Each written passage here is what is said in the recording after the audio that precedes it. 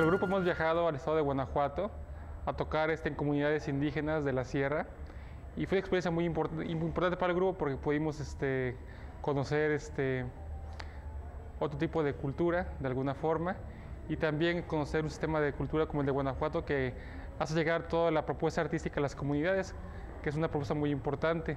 Tocamos en Doctor Mora y varias comunidades muy alejadas, estaban como 3, 4 horas de camino casi todos los días, con dos conciertos diarios. Fue muy importante también el repertorio porque llevamos el repertorio de fusión que incluye batería y saxofón y algunos otros elementos.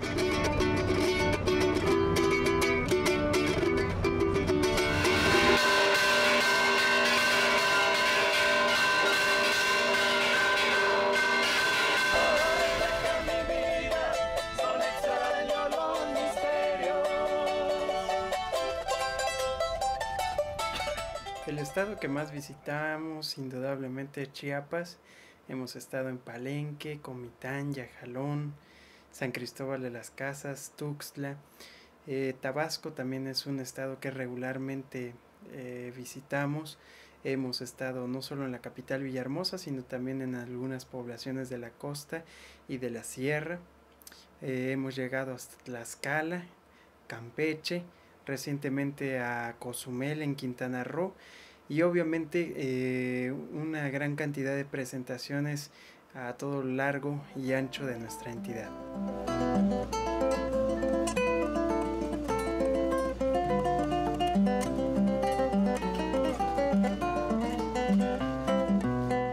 Nosotros hemos, hemos sabido y nos ha tocado vivir alguno, en algún momento el, el cambio, el sentir la nostalgia de no poder vivir el tiempo en el que Inti Limani, Violeta Parra, Víctor Jara, los Calchaquis y podría nombrar muchos más grupos han tenido como, como principio básico eh, esa esencia principal de la música latinoamericana y el ver transcurrir el, eh, con el paso del tiempo la, la evolución en la cual la música latinoamericana ha ido, cambiando. Me tocó un poco de ello, sobre todo cuando andábamos con las melenas largas confundiéndonos que lo que era la vida fácil y la vida verdadera, ¿no? siempre la mira.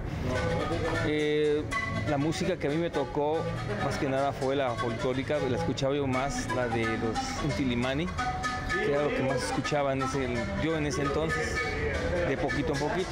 En cuanto al, tema de la, nueva canción chilena y las, los temas de protesta de la época de- del golpe de Estado y todo eso, bueno, yo creo que las canciones llegaron a su punto eh, eh, cúspide cuando, cuando eran letras, textos que expresaban mucho la necesidad del pueblo, cuando expresaban bastante eh, todo el enojo que no podía ser desquitado por, todos, por toda la gente que, que sufría en ese entonces, que sufría mucho, mucha agresión por parte de los gobiernos. Yo creo que eso fue lo que mucha fuerza le dio y que hizo que se identificara también en otros lados del mundo con otros sucesos históricos también.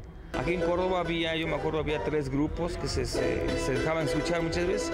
En Orizaba había como cinco grupos que se escuchaban. En Cuitlagua había uno hace mucho tiempo y lo traía, lo traía un profesor. Es lo que yo recuerdo que a mí me comentaba en ese, en ese entonces, ¿no? Te hablo del 75, 76, por ahí así.